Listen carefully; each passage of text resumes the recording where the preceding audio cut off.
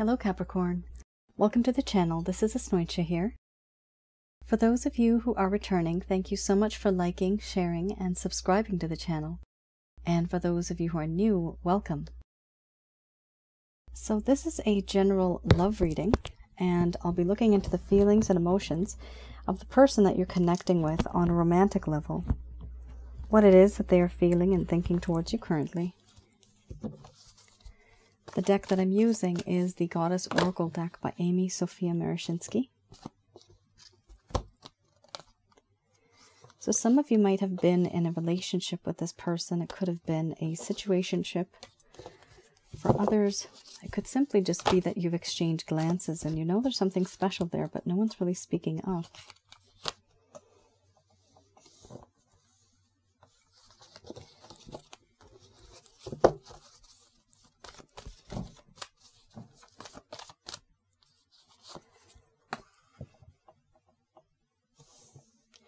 Deck that I'm using is the Goddess Oracle deck by Amy Sophia Marashinsky, if I didn't announce it already. Also, for those of you who are new, my method of reading is just slightly different. I do channel through my higher intuitive self in order to get the answers that I need. I don't channel through spirit guides, I never have. At the end of this reading, I do channel Archangels Michael, Raphael, and Gabriel to provide you with some advice based on these cards. Crossroads, somebody here needs to make a decision. There's a desire, there's a need, there's a want. Here, we have nourishment, followed by rhythms. Then we have play, surrender, compassion, death and rebirth, opening, responsibility. Then we have crossroads under the bottom of the deck, the overall arching theme.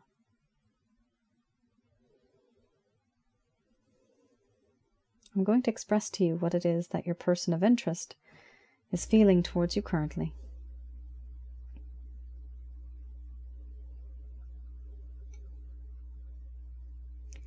My dear Capricorn, The connection I have with you makes me feel completely fulfilled. There's a sense of fulfillment where spiritually, emotionally, physically, I feel that you do fulfill all of my needs. And that no matter what happens, you will always be there for me. There's a sense of nourishment, this everlasting care, the act of giving, selfless. That is how I see you. There are certain things that have happened in this connection that seem to repeat a lot. Patterns come and go rhythms don't change. As soon as I think I'm over this and I can move on, boom, you come right back into my life.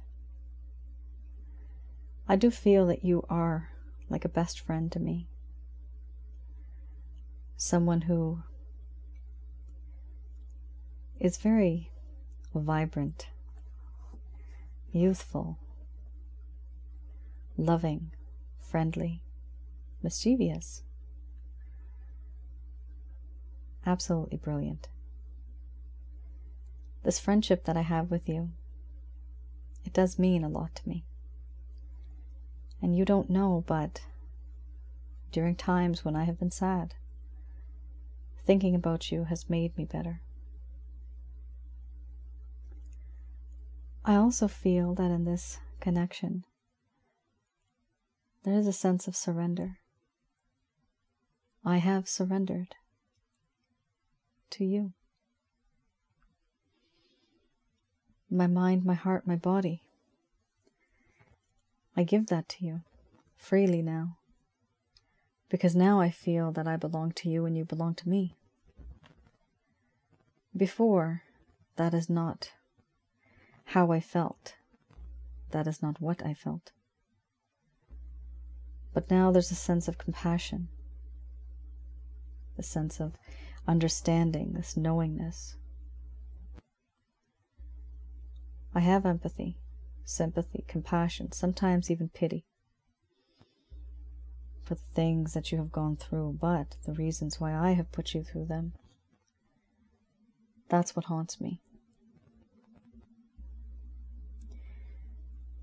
You were in a better place at some point, and I thought that what we were would make you happier, would make things better, but it turned out not to work that way.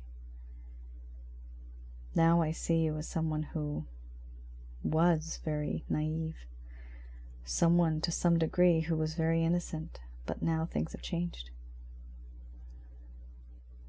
You are no longer that person because I changed you. I have corrupted you. That white veil now is tainted. I also feel that in this connection, back then.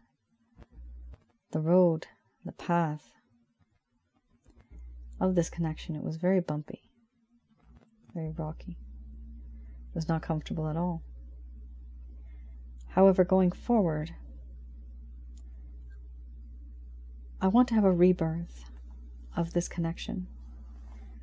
I want to have a rebirth of where we are headed.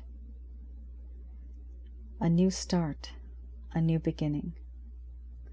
A second chance is what I'm hoping for. With this, what I feel on the inside, I do feel like opening up to you and telling you what it is that I feel, how I feel. I'm hoping that if I open up to you, you would understand where I'm coming from. I want to open up and tell you that I want to be more responsible for certain things in our lives. I want to be that person who can take responsibility and even be responsible. Take responsibility for the things that have happened in the past do things the right way. I want to take on those burdens, certain things that other people just can't handle. I want the weight on my shoulders. I want to be able to tackle this. I do feel that in this connection there is this crossroads that I've come across. Right now, I know I have to make a decision. I have to make a choice in order to move forward in this connection. But I do not make a choice. I don't change my ways. The choice is not made, the decision is not made, and so I stand still. You may wonder, Capricorn, why? For me, simply, it's because I just want to be very careful what decision I make because I have doubts. Doubts about myself and doubts about the connection. This is why it's hard for me to be who it is that I'm supposed to be with you.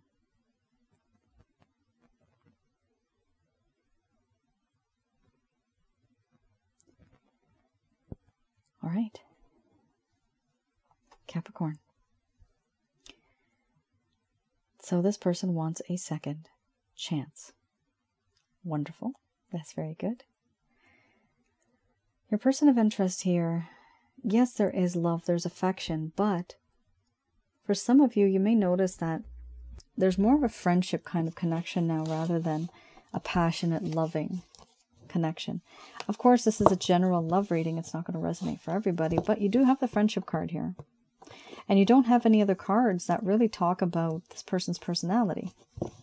But this does talk about the type of connection you have. It is based on a lot of friendship, but this person does want to follow your lead.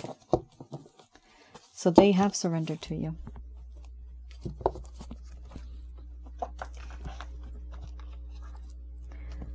All right, we have here the Lover's Path Tarot.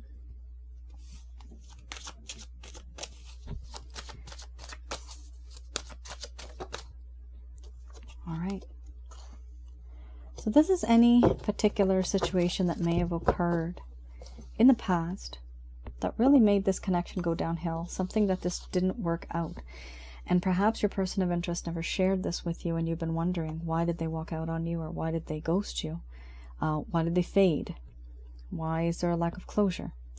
So hopefully this will provide you with a little bit more clarity and some guidance. We have here strength followed by two of cups.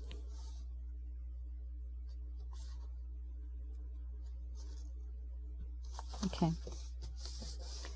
Strength here talks about courage, strength, leadership, and confidence.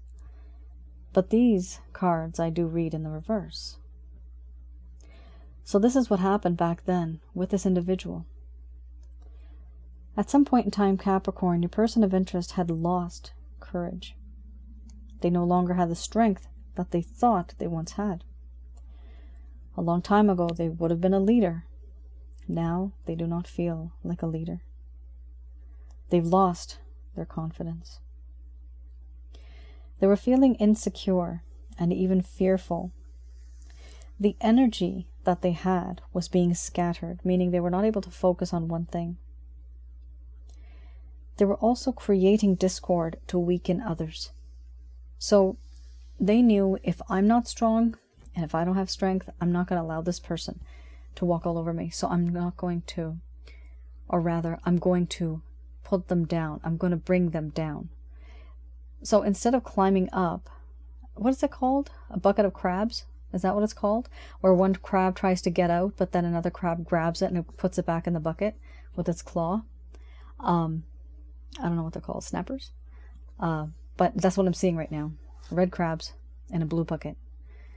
One of them is going out, and then another one's grabbing it and putting back in. So if you're in the same situation, then this person wants to be in that. If they don't want, or rather, they didn't want to be in a different situation because it would make them feel awkward and uncomfortable. Here we have a situation, though, where there was this excuse being found to argue and fight about something else that was unrelated to the topic itself. Sometimes people do this to create discord, meaning to ruin the type of peace and harmony one may have during a certain stage, during a certain topic. Something changed, something was made different, and therefore the topic was now shifted and it changed. So this person, they tried to divert the attention. They would talk about a topic, and what I'm seeing here is that they would try to change the topic because they were not strong enough to handle it and they wanted to change it so that they don't feel uncomfortable. Here we also have the Two of Cups. Two of Cups. All right. With the Two of Cups, it talks about lost harmony. Remember, I'm reading the reverse. Lost harmony, lost partnerships, and a lack of love. There used to be a sense of enchantment, but there is no more. Here, this was an attraction that could have become something more important in terms of a relationship or even a love relationship. In the reverse, it talks about infatuation, overindulging in sensuality for the sake of the emotional high. Yikes. So there was a whole lot of infatuation here and this person did not have the type of courage to move beyond the physical into the emotional.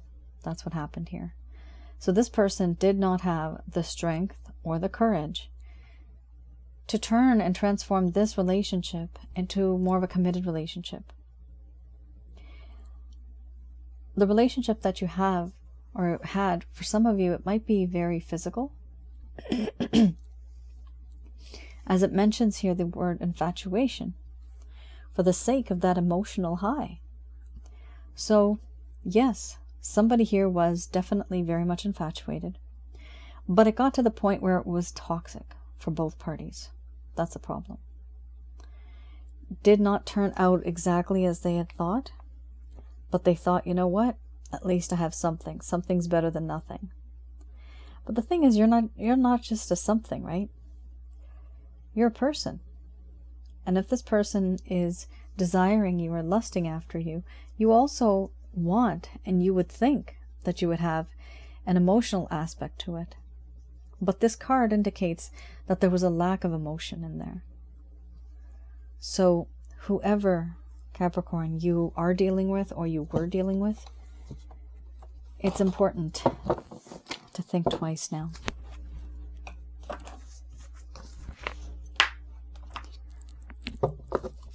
So we have here the Beginner's Tarot, and I'll be looking into any actions, any plans, any intentions that this individual may have towards you currently.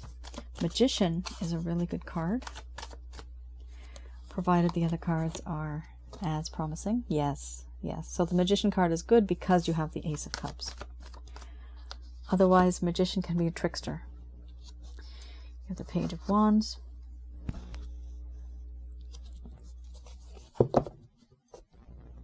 Ten of Wands, then you have Ace of Pentacles. Not bad at all. Very nice cards. You just have a little bit of struggle here with the Ten of Wands. So with the Magician card, this does talk about how this individual, by hook or by crook, no matter what happens, they really want to win your favor, your affection.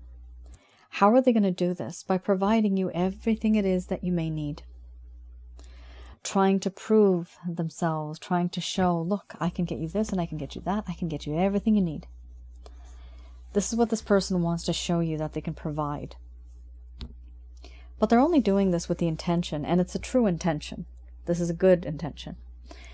You have two aces here, right? Ace of Cups and Ace of Pentacles. So the intention is to work towards you, to let you know that they can offer you things. Some of you might not want this offer anymore. You've had enough, right? And that's okay. But others of you that still are hoping and waiting, this person really does have this way of wanting to reach out, wanting to talk and communicate, but they're working on it first. Eventually, I do see this person reaching out in various ways you have here the intention, which is the Ace of Cups.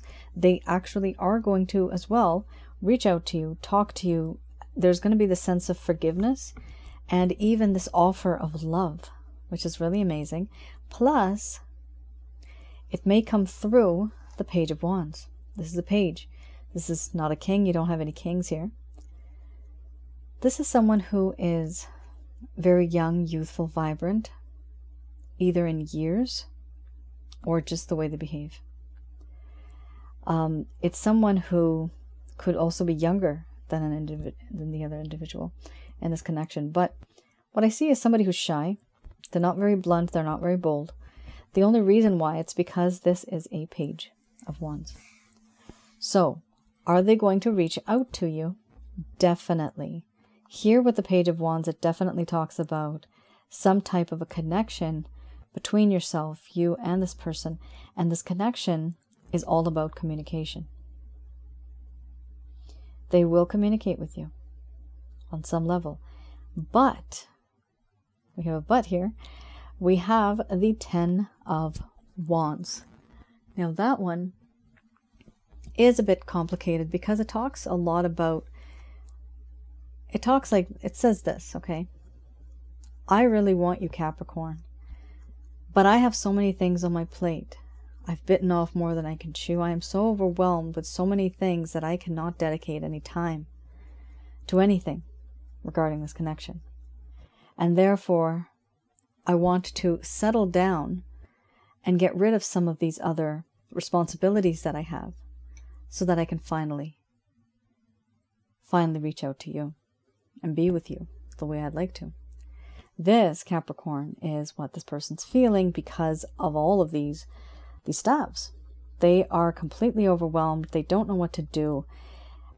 Even if they wanted to have you in their life, they know they won't be able to dedicate that much time, energy, and effort to you.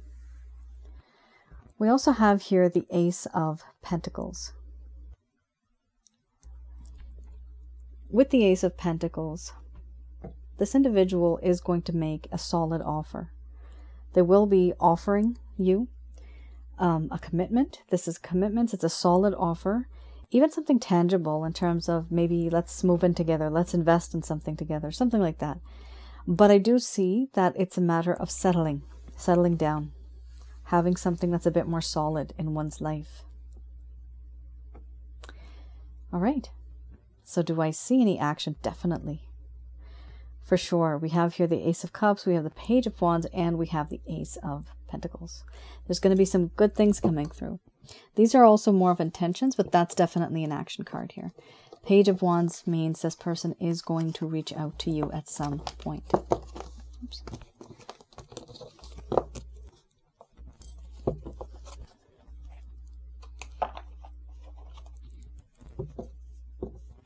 All right, just going to do a quick prayer.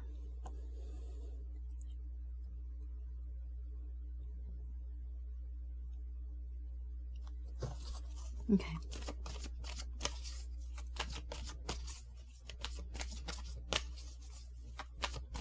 So these messages are brought to you by Archangels Michael, Raphael, and Gabriel.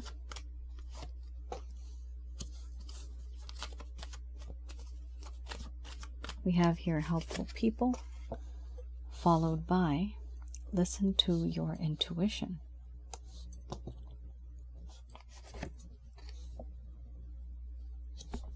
Followed by the strategy card, let go.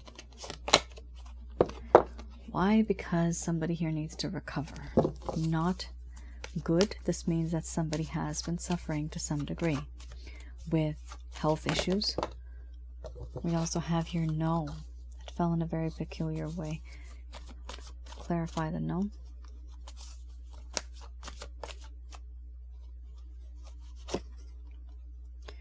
Perfect timing. No. There will be success. Okay.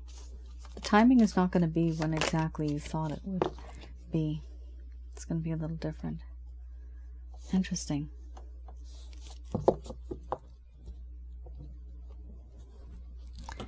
So, we have here helpful people.